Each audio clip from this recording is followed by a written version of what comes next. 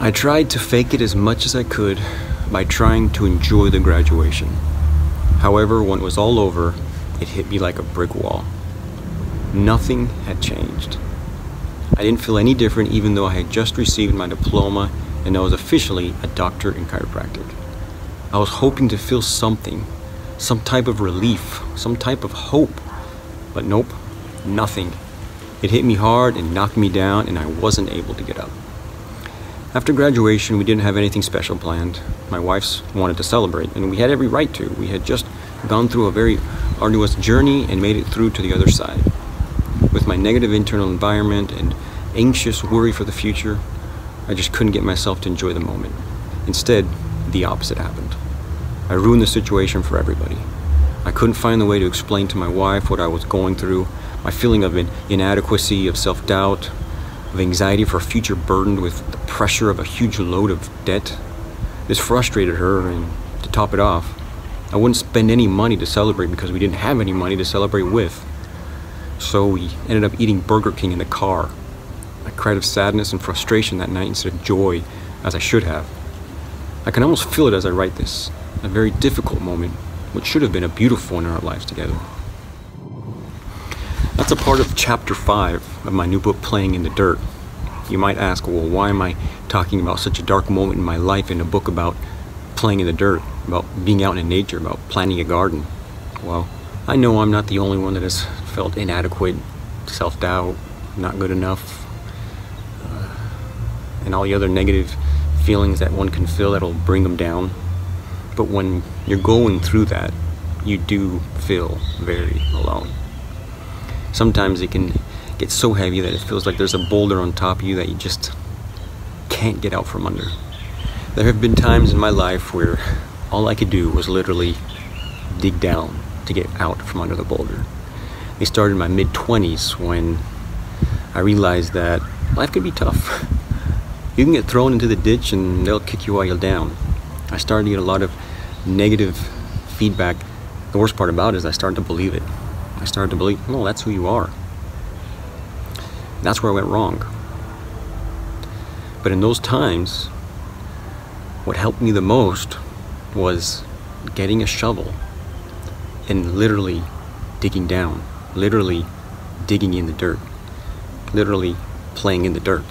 One of the principal ways that playing in the dirt or digging in the dirt helped me so much was it helped me focus on something that was good in the present moment planting a garden.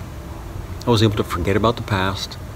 I was able to let the anxieties of the futures float away for just a couple minutes. It was meditation at its best. It was that altered state of consciousness that we all need to be. It was in the zone. Being in the zone means that you're completely focused on one thing and where anything is possible. And the only way anything can be possible is when we're 100% focused on that in the present moment. And playing in the dirt allowed me to do that. The first time I felt the therapeutic and calming effect of the garden was when I was in Palmer College of Chiropractic. It was my last year, a very difficult year in which I had very little time and at the same time I had all those negative thoughts in my mind and all those anxieties. It was a very tough year. But while I was at Palmer College of Chiropractic, I was determined to return to my ancestral roots and plant a garden. I say return to my ancestral roots because all of us planted a garden sometime in our past. I'm not saying us personally, but our ancestors. And the majority of us don't even have to go that far back. The majority of us just have to go back to our ancestors from World War II in the Great Victory Gardens. Being a graduate student at Palmer College of Chiropractic didn't mean I have a lot of money. So I didn't spend too much money on my first garden. What I did is that whenever we went on a walk and I'd find wood thrown out, I would ask that person if I could take it, and they would usually say yes. I also found two flower pots that were thrown out to the trash. Also, they said yes. My first garden was two flower pots in a planter box that was one foot by four feet long by one foot deep. That was my first garden that I planted with my son, at that time only three years old, where we planted the seeds in eggshells. And that's where it all started. that's where I felt my very first calming and therapeutic effect of gardening. The few minutes it took to water, to contemplate, to eventually pick the fruit of my labor was enough to put me in that altered state of conscious consciousness where I was enjoying the present moment. Since then, I have tried to plant something every season of the year in every place I've lived, which has been in various states and even different countries.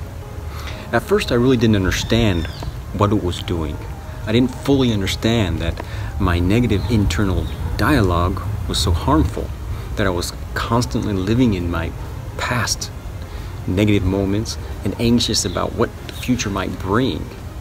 But as I studied more and more and learned more and more, I came to realize that the garden put me in that present moment and allowed me to forget about all of that stuff and allowed me to enjoy something good.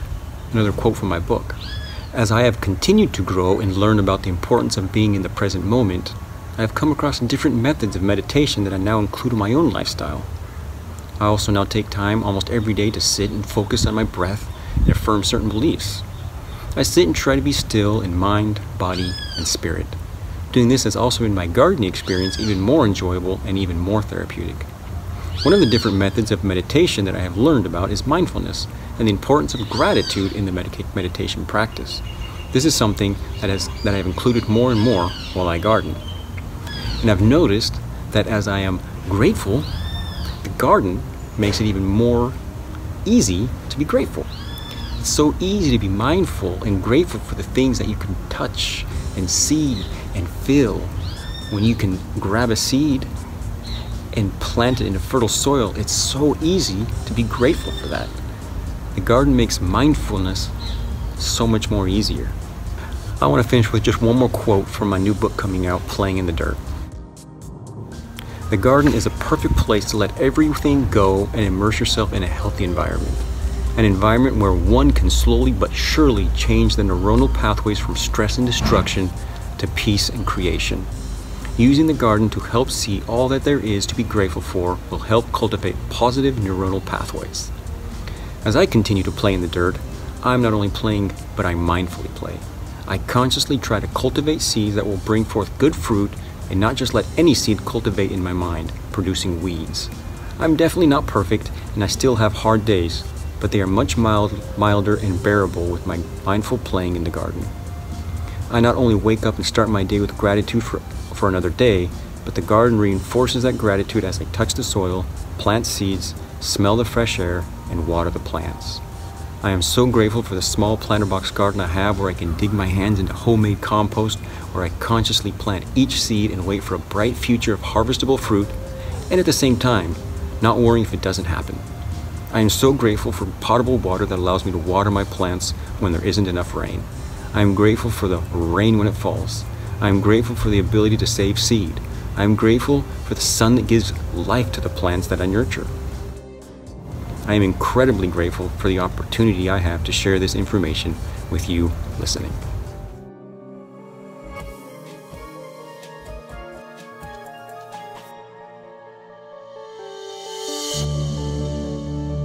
Can get in contact me at BenPageDC on Instagram. Send me an email at benpagedc at gmail.com or visit my website, pastosverdesfarm.com. See you next episode.